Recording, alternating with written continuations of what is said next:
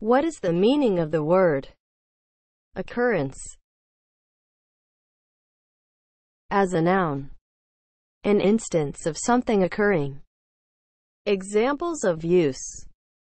A disease of frequent occurrence.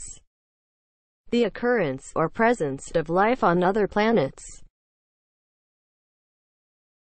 Occurrence is spelled O C C U R R E N C E.